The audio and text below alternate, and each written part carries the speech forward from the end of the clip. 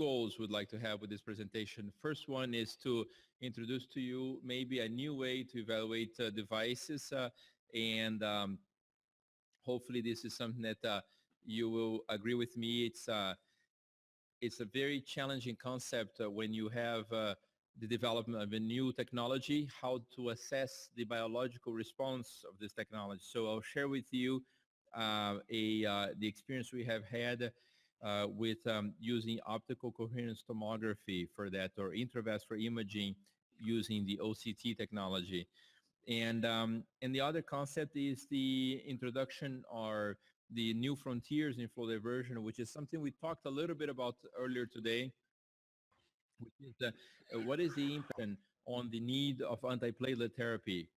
So the important thing about uh, this uh, concept is to see, of course, the evolution. And uh, today we had the opportunity to see a discussion on uh, the preference of using steel coils uh, and something that we've been very familiar since 1990. But over the years, for one reason or another, there has been a need to develop new devices because there's such a wide variety of pathology that we treat. And um, the use of flow diversion uh, became available um, as a concept, I have to say, much earlier than 2011, but uh, it took a, a, significant amount of testing. And I have to say to you that compared to many devices we have, I think that the amount of in vitro and, and understanding of how the performance, uh, mechanical performance of this device uh, uh, was done prior to approval and also the approval process types of trials that were done to get this device approval is um, it's it's very unique on the aneurysm area. You know, in the aneurysm area, a lot of things have grandfather in you. Talk of clips or coils. There are no studies showing that uh, uh, the this was actually the best therapy. Is all we had to, for the treatment kind of thing. But flow diverters had to prove themselves compared to the older therapies, and not necessarily uh, something we see often. The only thing is being the biological response and how the coagulation control is done, and that's something that's been a challenge. But as you remember, we have used uh, uh, the concept of flow diversion is something that uh, I would like to, to challenge you. If you today could tell me what it means to have flow diversion, is that uh, um, when you make a multiple stents uh, of low coverage together, you have an impact of, of altering flow from an aneurysm. Um, maybe you can do one device only, but flow diversion can happen in many different ways. And um, the modern era flow diversion, it tends to be about 30% metal to artery ratio. Uh, but uh, the um, this is something that uh, I'll be glad to discuss and, uh, and hear your opinions on what means to have flow diversion. Um, I think that there's no question that uh, over the years we have uh, worked tremendously on the concept of uh, going from coronary stents to self-expanding stents and now flow diverters that are self-expanding uh, platform. But this is an evolution only on design. And we have not, um, you know, we, we, we basically have not seen what is the potential, what's the next frontier after developing so much these devices, what else can we do?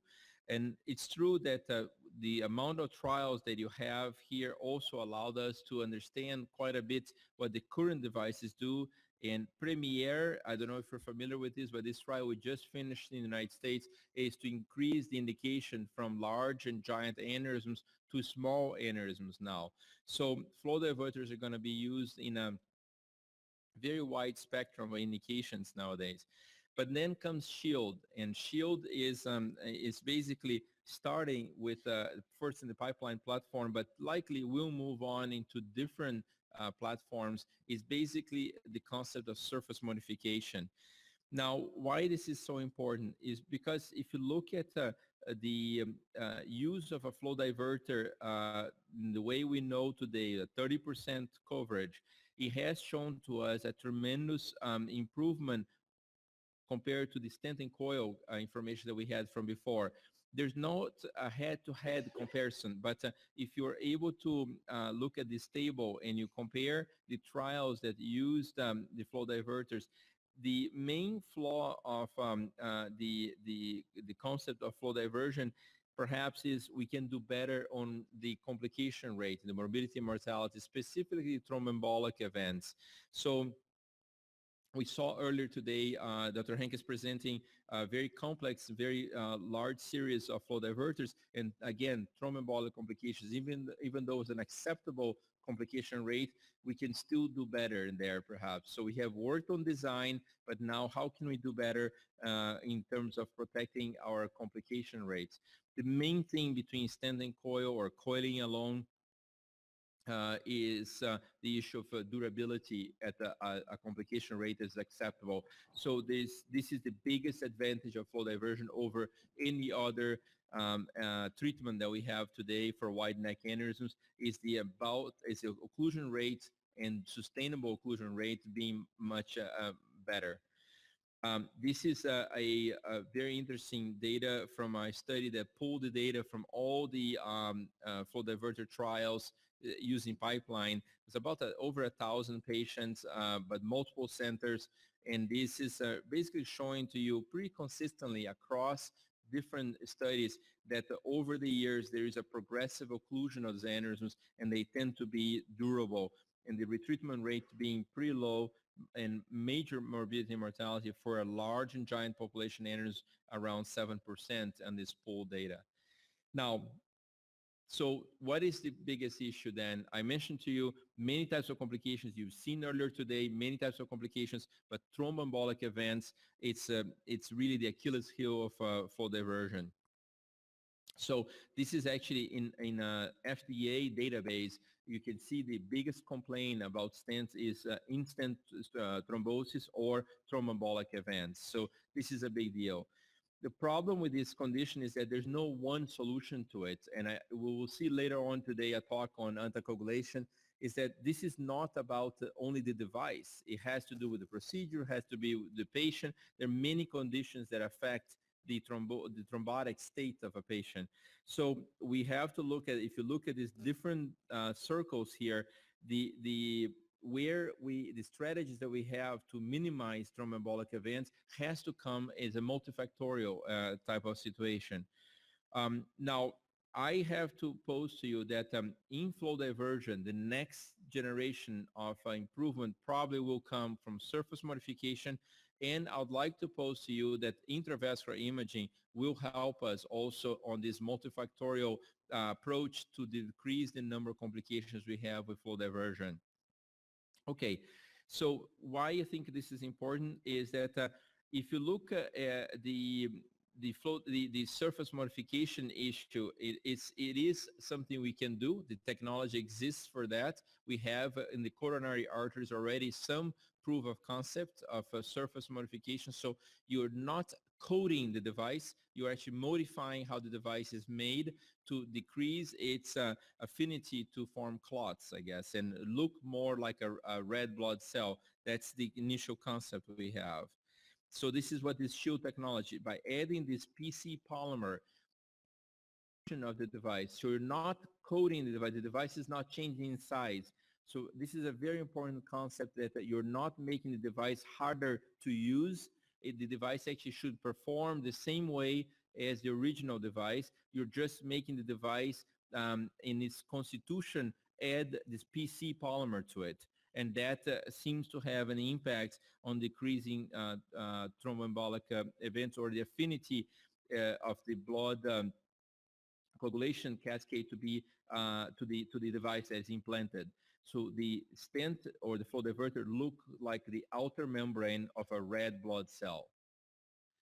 Um, this is uh, the the how this looks like. It basically um, uh, it, it, incorporates into the braid of the stent this uh, this PC uh, and um, uh, this PC polymer will be basically um, affecting that uh, thrombogenicity. Some of the studies in vitro, and this is one that's very I suggest you to take a look. The general intervention surgery showed this in vitro study comparing the different uh, flow diverters, one with multi-layers, one with single layer, one in using also dual antiplatelets and without dual antiplatelets to see the impact. And you can see here that uh, if you use uh, Um, these are the different curves, and you look at comparison. The the the triangular uh, one is um, uh, Fred.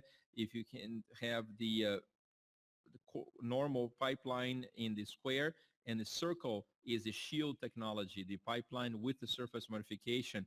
And if you use no antiplatelets, you tend to have a separation between um, them. The, as you can see that the, the multi-layer tend to have a little bit more thromboembolic uh, uh, formation and uh, the shield technologies um, uh, it did better in vitro compared to the uh, um, to the regular pipeline but if you have one antiplatelet you can also have uh, that separation but if you use dual antiplatelets that separation it doesn't have so much of an impact anymore so it's showing that there was a question earlier today can you use a single antiplatelet in a hemorrhagic case and place a flow diverter like SHIELD?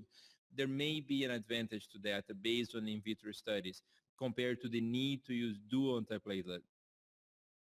Uh, now, this is, um, I think, is very telling what is happening in vitro. But if you want to see the picture of this, this is now fibrin deposition.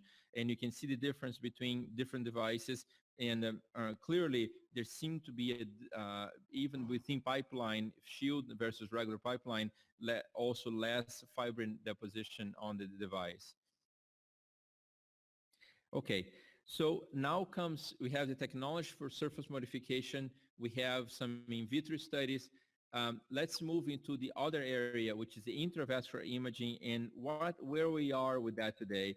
I think the most exciting thing is that uh, this is what I'm going to show you today is using a relatively large catheter. It's a St. Jude product, but we have a wire, a 14 wire that will provide us the same type of imaging, perhaps even better. Uh, and this is at the neural level. So a 14 wire malleable that can go intracranially allows us to obtain this type of uh, information. So imagine if when you did your uh, flow diverter placement, you could see the strut apposition like this. You could say, do you need to angioplasty or not? But this is nothing. I'll show you even more further analysis on this. You can also, not only in the acute phase when you deploy the device, analyze if it's a good uh, deployment, you can on follow-up see how much the struts are being covered by endothelium.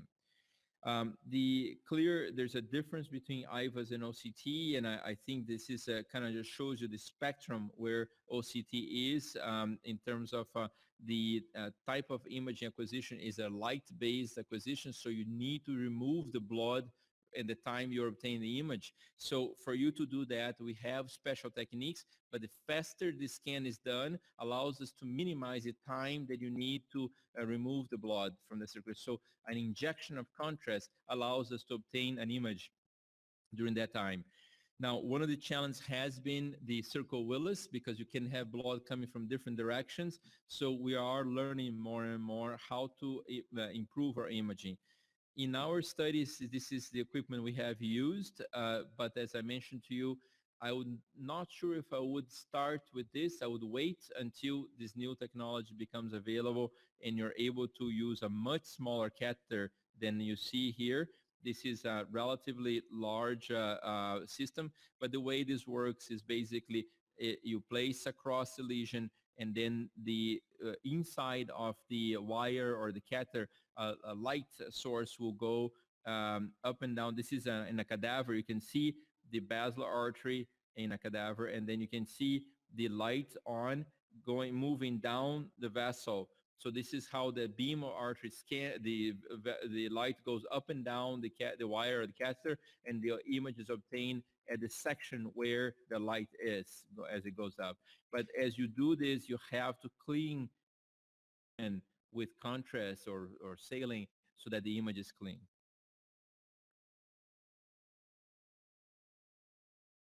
Sorry. So this is a little bit of a comparison between the intravascular ultrasound and OCT. On the this is OCT is at the level of histological information. So as you do an OCT imaging, you're looking at the vessel as intima media. You're, it's a different level of imaging. That's why I think that is the next level for us to decrease our complications. We're going to see more. You can see the perforators. You can see, but the problem here is penetration. We cannot go too deep. So you have about a six to seven millimeter scan. So if the vessel is too big or there's an aneurysm attached to it, you may not be able to, to go deep enough into the aneurysm. In that sense, the IVUS does have a better technology in terms of how deep you can image the vessel. But uh, the precise vessel measurement, it's something that uh, you'll be pretty amazed how our conventional techniques are not giving us necessarily the best sizing. And we all know that sizing for flow diverters does have an impact. Um, the other thing is this amazing image of uh, the origin of perforators and the interesting findings. I never knew that uh, a perforator didn't, the ostium, internal ostium and the external ostium were not exactly the same plane. They actually, there's a, the artery travels within the vessel wall and comes out in a different angle. So the internal ostium and the out, outside ostium of a perforator. So Naji showed us beautiful pictures of mini aneurysms on perforators beyond the vessel, but we cannot see in the vessel the perforator. And this is what we're seeing here. This picture is actually uh, in the vessel wall. You're observing the, tract, the trajectory of a perforator. But this allows us to also uh, see the relationship between uh, the um, uh, the branches and the devices that we place. If we can actually choose, we also saw today top of the basilar flow diverters. Maybe the nice thing would be to map that area and see the amount of perforators you have and decide what kind of coverage you can use. And if you talk about covered stents, even better, you can then choose which territories you can place the device based on a true imaging, allowing you to see what the vessel looks like. You can make diagnosis of injury like intimal tear as well as plaques and, and if you're in a true lumen or not. Now, this is the look of a basilar artery with a pipeline, and you can see the, the relationship of the different, the little tiny struts. So now you can design devices that will have the best shape into the vessel. We cannot see this type of picture very easily unless you do histology. But imagine this type of picture now in a very dynamic world that you can actually follow over time in the same uh, individual on the same animal in the case of our study. So this is a comparison between an enterprise and a um, uh, pipeline, how the difference between a low coverage, maybe a 6% metal to artery, to a high coverage, 30% co uh, metal to artery, the density of the struts is very different. And this is actually a case uh, that we're able to get uh, an IRB approval to do was a multiple stents uh, with coil in a, a human, a, a, live case that we had to stop the aspirin Plavix. So we wanted to make sure that the endothelium had completely covered the, the, the construct. This was relatively early. It was uh, maybe about three months from the intervention. And the, you can see that the neointima had formed completely uh, throughout the stent. We can actually measure at the length of the device uh, that it has been uh, completely healed and potentially be very safe to stop aspirin Plavix. Now, this is, uh, of course, opens up to if you go to bioabsorbable stents and different technologies that you can now follow up how the um, absorbing uh, uh, factor is taking place and the healing of the device. So imagine how much more we can do if we can actually see this. Now I would like to start focusing a little bit more on what we did, which is um, endothelialization is very appealing to me. And I, we, this is an example comparing different devices and you can, this is the, the, the, the, the stent you can see here, but you can see that this is the number of frames. So each study may have over 280 or 300 pictures of a millimeter difference of where the, the uh, histological section. It's actually very difficult for you to do a histological comparison because the the microtome cannot cut the, devi the device as close as the OCT can do. So you get much more views of the device. Now this is the example that uh, we found out to be uh, extremely relevant for the evaluation of new devices is if you have on day zero and day 21 and you bring this animal for studies in different time points, in this case was every week we're doing that, you can actually see in the same animal the growth of the tissue over the device over time. And this is what this is showing to you is basically going from no coverage to complete coverage of the device. And the, you also can see where the neointima starts in, in the healing. And this is now, we're moving to a uh, better visualization of this with this type of reconstructions here. So this is a three-dimensional OCT. So you can see the total, the lumen of the artery, and then you can see the neointima starting to cover the device until complete coverage. And that type of reconstruction is something that uh, allows us to think about other things. You can now do potentially uh, a flow dynamics study knowing exactly where the device is in place. So by knowing the, the strut position after deployment, you can use that for CFD calculations in a way that we couldn't do before. Most of this is done as a virtual modeling. And when you place the device, you place a fake device or a virtual device inside of the blood vessel. But having the true the detachment of the device measured like this allows us to give to the computational uh, calculation a much better idea of what uh, how to simulate that. And this is the type of views you start seeing. Now there's something very interesting about this which is uh, let me show you this picture here which is a reconstruction of the device with the ostium of all the vessels that are in relation to the device. But the most exciting thing and I think you really should pay attention to this. Look at this. This is the vessel. And right here you have in microns the distance between the vessel apposition in, in microns to the, in the different parts of the stent. So if it's white, it's well opposed. so you don't need to angioplasty. But if it's yellow or red, so you see the red area here, that means that it's more than 300 microns away from the wall of the artery. So if you have more than 300 microns, in cardiology today, this is a indication for angioplasty. So you can actually get a quick view of the whole vessel with the stent deployed with color coding in the areas that uh, is separated from the blood vessel wall. And that will give you a, an incredible map of where it's relevant to angioplasty, not just angioplasty everything like we do today. So this is how it looks like. The white is well opposed. Yellow is um, a little bit less, is about uh, uh, 200 microns, and red is 300 microns away from the vessel wall. This is how it looks. So 200 microns well opposed and 300 microns away. Now, this is another great view. This is with a Fred device across the an ostium of a perforator. Look at how many little struts because it's a braided device. So it has two, I'm sorry, it's a, there, uh, it's a multi-layer device. You can see the difference in the strut size across the ostium of uh, the uh, uh, perforator. And this is really interesting. You can measure, you can, and you can work on understanding the relationship of this device to the ostium. This is a branch, not a perforator, but you can see the jailing of the branch and how little you cover the ostium of that. Uh, you can actually calculate the area that you've been covering your perforators and branches. Okay, now this is going to go quick, but I, I wanted, this is really exciting though. I, I, I, we, we had an opportunity to study shield versus pipeline versus solitaire. And we decided in an, in an animal model, you, you use a pig for that. And the pigs were uh, we chose basically two groups, one with dual antiplatelets and the other one with single antiplatelets.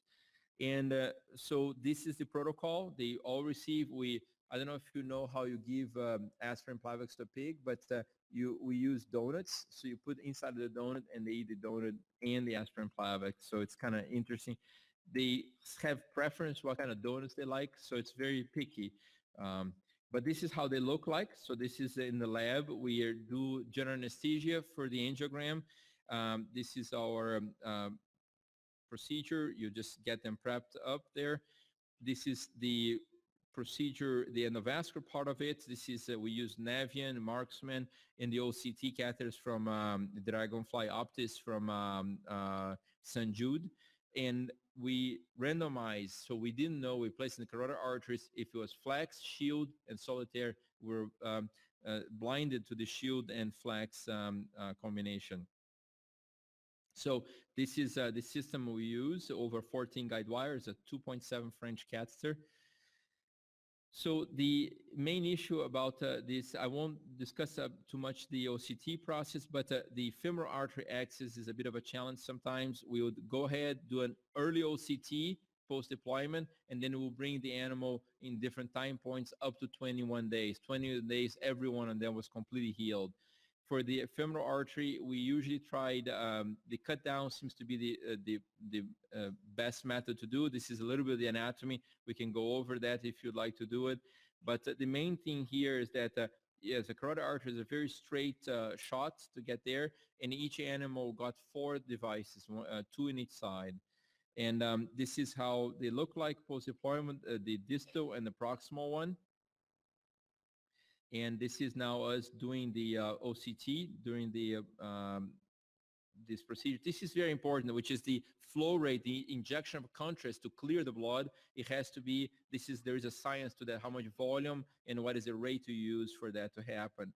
And these allow us to, this, to get this kind of pictures. You have the flex, the shield, and the solitaire, and this is in the different uh, regions. This is the one that we're looking at, 100 frames uh, the 100th cut within the device. This is what these three devices look like in the day um, uh, 7 uh, plus uh, placement. And this is now at day 21, showed complete coverage of the device um, and, and well healed. Um, the um, how this looks like uh, in, uh, in in how you compare and how beautiful. I mean, these images are very clear. As you can see, we're able to remove the blood very well there. And this is um, now the beginning of neointima growth at seven days. You can see a little bit of neointima over there. You see that? It's strut. It has a little bit of coverage and it's very symmetrical on the shield. And I'll go over this with you. And this is at day 14, a little bit more. And now at day 21, and you can see the angiogram and the DSA as well as the reconstruction matching very evenly how that uh, uh, growth of neointima was, was happening. And then we did a histology, and even in the cases that there was thrombus, it correlated very well with the histology and the OCT. So I think this is a very good, uh, but of course, this is the limitation of histology is only one time point. We are able to now obtain data from the acute stage all the way to the histology time uh, using OCT. This is an incredible finding, which is the growth of neointima on top of the blood clots. And this is what uh, I think Dr. Henkes was alluding. Sometimes you'd see a stenosis that goes away. Maybe it was just clot on the wall of the stent. And we definitely saw that happening here. Um, so the um, let me describe to you what we measure and this will show you the comparison. So we measure the lumen area, which is the green line. The white line is the stent area and then the where we have the this black arrow here is called the maximum thickness. And then in this area here the red one is the minimum thickness. Now this is uh, the definition from cardiology of what is uh, a coverage. The, and then the coverage struts are this type 3 and 4 so you have uh, different ways this has been well established. So we follow that uh, cardiology convention. And we measure this type of uh, this is the data that I'm challenging you to say maybe new devices should be evaluated like this is the neointimal ratio, which is the lumen minus the stent area divided by the stent area. The endothelization ratio is the type 3 and 4 that I showed you. And this is um, the um, uh, important uh, uh, how fast that happens. And the thickness ratio is uh, for an aneurysm, imagine it's how much you separate the large, the lumen of the vessel to the aneurysm, and that is the minimum um, over the maximum weak, um, thickness. Now, just to show you the OCT uh, data on the patients with single, uh, the animals with single antiplatelet use, and this is the information we got. I will not, uh, I will kind of summarize this for you, but uh, I'll be glad to discuss this in more details if you have interest. But the interesting things about this were that uh, the neointimal formation um, over time, it was clear that uh, the at day 21, everyone had neointima. But from the beginning, which is very surprising to us, the surface modified device had the fastest growth of neointima.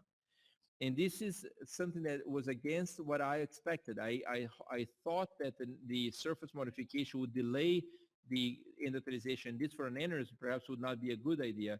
But in this case, it seemed that uh, we saw consistently uh, faster endothelialization on the um, uh, shield device. But over time, it catches up and the other ones will heal. Now, the, there are many theories why this happens. It may be because the steps of healing are bypassed when you do a surface modification. The device is already pre-ready and can start endothelialization at a faster pace than the ones that need to be first um, go from a, a, a, more premature state of healing, perhaps. By the surface modification may change that. Now, the neointimal formation percentage on each position over time. So we checked distal, middle, and proximal portion of the stent and compare if there was any healing happening in different locations.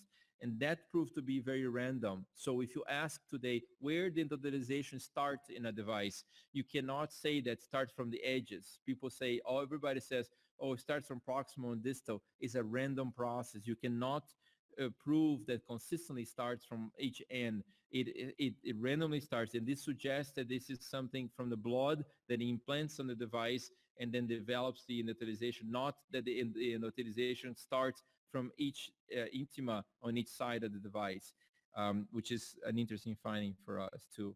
Um, the other thing is um, the uh, uh, this is just going on the same type of information I just shared with you. It's very random how that happens. Uh, for each device, Solitaire, Flex, and Shield, we saw the same random pattern of growth of neointima. Now, the neointima thickness ratio, it was uh, very important to see that the Shield had uh, the most significant uh, thickness of neointima on day 21. And when you combine the uh, single and dual antiplatelet, and now you here you can look at the differences of thrombosis, maybe this lower uh, part is the most interesting. And I'll, I'll, summarize this for you as we move forward here. Um, the view if you have single antiplatelet versus dual antiplatelets, the difference on the, the neointimal ratio, you can definitely see that the, there may be a difference by using single antiplatelets on how the neointima heals over time. This is um, the graph showing the that there is an earlier initiation of endothelialization on a shield device, and this was shown when you combine the groups also. Now, thrombus formation, that's the biggest question, I guess, is clear like uh, when we use single antiplatelets, the black one, the flex had 100% of thrombus on the stent struts. But in the shield had a, uh, with a single antiplatelet, uh, much less, a significant less uh, uh, thrombosis. And if you use dual antiplatelets, then it becomes all equal. So it's hard to see the difference in surface modification when you're using dual antiplatelets. But if you use single antiplatelets, you see a difference between them. Now, to conclude, uh, is basically I would like to challenge you if you think that uh, optical coherence tomography could be a new way to assess the new devices, especially in the parent vessel. Um, I, think when it comes down to the shield endothelialization, we show that there is a tendency for earlier neointimal formation. We also showed that the volume of neointimal formation over the shield in day 21 was not significant compared to flex. So over time, they become similar, but it, it starts sooner with the shield. We also noted that um, the, there's a more concentric, a more symmetric healing of the neointima in the shield device compared to the other ones. And the pattern of neointima formation is random. This is a very interesting finding. Uh, we also noted in the acute phase, there was 100% thrombosis in the flex device, and there's two out of six on the shield device, and that was uh, um, also an important finding. We changed the protocol because we saw an acute phase thrombosis, so then we started giving dual antiplatelets, even though we had originally started single antiplatelets, because we had proved the point that there was a difference between them. So after we started doing dual antiplatelets, then the flex and pipeline shield behaved the same way. Uh, so there's no more thrombosis after dual antiplatelets were used. Thank you so much. I invite you to come to WNC in Los Angeles um, in May 15 to 17. We're looking forward to uh, a very lively discussion of cases. And I have to put a plug to Neurovascular Exchange, which is really an um, educational platform. It's a free um, online registration. I encourage you to check this out. And uh, this meeting is actually being broadcast live as we speak to this uh, site now. Thank you so much.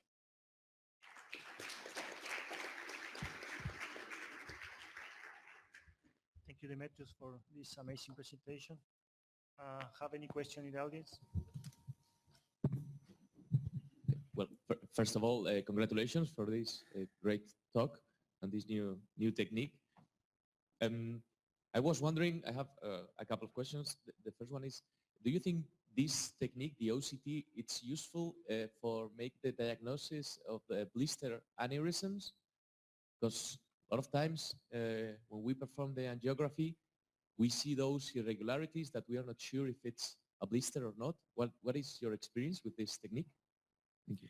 Yeah, I, I don't have experience with blisters, but I think that uh, the, uh, the this is the if you increase the safety. Unfortunately, it's an invasive method to prove that. Uh, maybe you can argue that the, having to do an angiogram.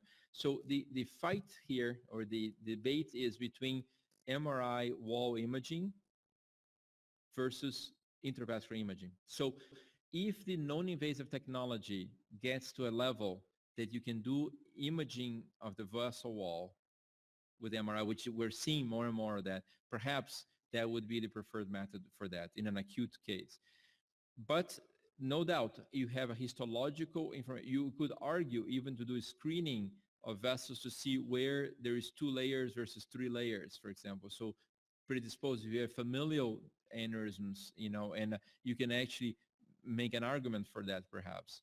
This is far from where we are now. I think that the initial application of this will be mainly on treated cases to follow endothelialization and so forth. But I think that the, the images are incredible and but it's an invasive method to do so. So you have to balance that.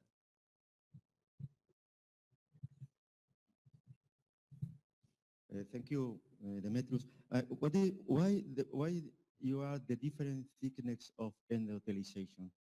Do you think it's to the flow component, change of the flow, or why? Why is different?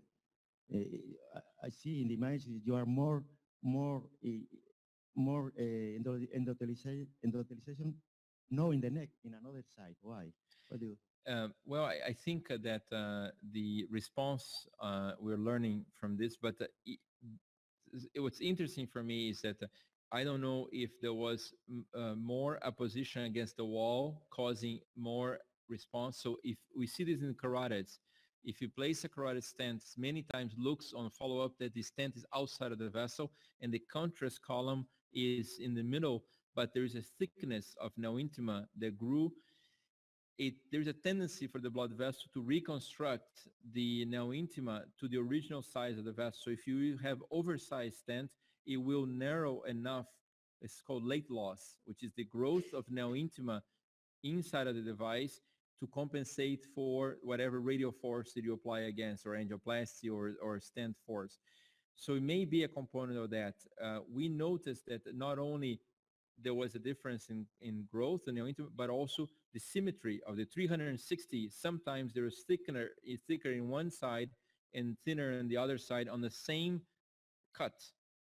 And we don't understand that very well. It could be that there is clot in the, in the stent and that made the neointima grow over that. It became more. So we saw in some cases that as an explanation.